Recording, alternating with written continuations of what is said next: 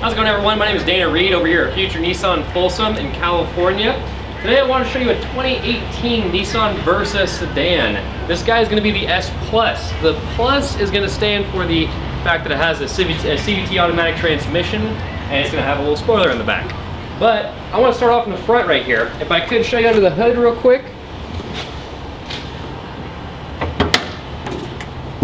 I wanted to show you this guy does include quite a bit of insulation. You'll notice it has noise canceling foam on the sides, insulation on the hood, leather stripping on the back, and it even has insulation on the back up against the cabin.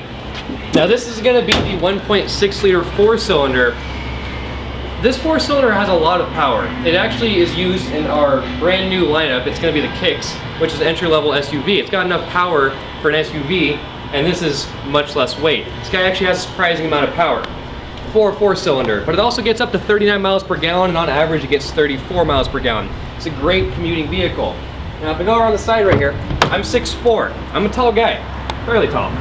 If I sit down, I can sit down comfortably. The seat's all the way back, and it does include Bluetooth, which is really nice. It's got Bluetooth, air conditioning. With that seat all the way back, if I get into the back seat right here, my knees don't even touch.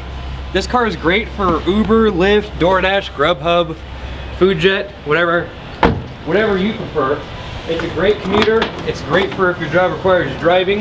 Has a lot of trunk space. You can fit a whole drum set back there if you wanted to. This is gonna have a really nice gun metallic paint job. You know, if you were considering a used vehicle, something with higher miles, but you want a little more value, this guy's got a full factory warranty. It's a brand new car and you're gonna have a very similar payment. So I just wanted to show you guys this. This guy is a great entry-level vehicle. It's the best bang for your buck in a sedan.